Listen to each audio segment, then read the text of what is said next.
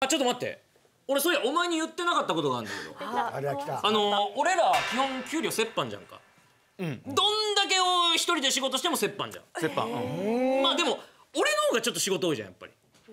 まあまあまあまあ。そう、ん。であのまあ交通費マイナスになるのちょっと俺も腹立たしいから、あの一人でやってるブログとか配信系の広告収入全部俺に入るようになってる。全部俺に入結構るでかいよ。えあと YouTube もさ俺が管理してるじゃん、うん。で折半じゃん。折半うん。あのお前より23万多くもらってる、